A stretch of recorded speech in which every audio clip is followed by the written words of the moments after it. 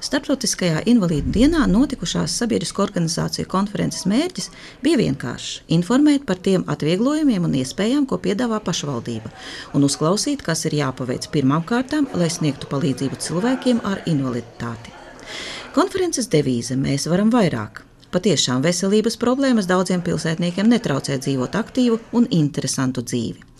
Nelielā izstādē bija apskatāmi dažādās studijās un pulciņos izgatavotie rokdarbi. Konferences dalībniekiem uzstājās arī radošie kolektīvi. Mērs Jānis Lāčplēs atcerējās, ka 2008. gadā pilsētā notika neparasts pasākums. Cilvēki invalīdu ratiņos Rīgas ielā mēģināja iekļūt dažādos veikalos un iestādēs. Tas izdevās tikai ļoti retos gadījumos, tagad daudz kas ir mainījies parādījušies uzbrauktuves un pandus, lifti un pacēlāji. Ir uh, speciāli aprīkojums uh, uz ceļa zīmēm cilvēkiem ar redzes problēmām. Ir skaņas signāli pie uh, luksuforiem. Sabiedriskais transports, viss, ko mēs jauno iegādājam, ir pielāgots invalīdu vajadzībām. Mūsu uh, zobu poliklinikā ir ne tikai speciāli aprīkots kabinets priekš uh, invalīdu vajadzībām, bet ir arī iespējas sniegt pacientiem uh, gulošiem pacientiem sniegt palīdzību mājās.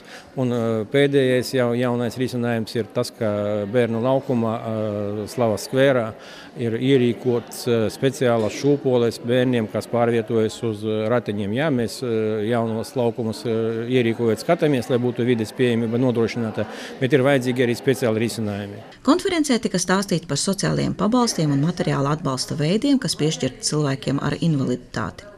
Vispieprasītākais ir dzīvokļa pabalsts. Arī tiem, kuriem ir nepieciešama ārstēšana, tiek sniegts ievērojams atbalsts. Apmaksātas četras dienas 30 stacionāros visā Latvijā, piešķirti 1500 eiro plānveida operāciju veikšanai. Kompensēti izdevumi par medikamentiem. Ir pieejami arī tādi pakalpojumi kā aprūpe mājās, sociālais taksometrs, kuru, starp citu, daži invalīdi izmantoja, lai ierastos uz konferenci. Atgādināja arī par to, kas ir paveikts pēdējo gadu laikā, lai nodrošinātu vides pieejamību. Visur tiek darīts tā, lai cilvēks justos labi un priecātos viņš. Ir sociālais taksis, ar kuru mēs varam aizbraukt uz dienas centru, tur, kur mums notiek fiskultūras nodarbības, un kur mēs rodam prieku sev. Tā kā viss, viss darās pilsētā mūsu lai ar vien labāk un labāk būtu. Bija izteikti arī aizrādījumi labklājības ministrijai, kā arī pašvaldībai.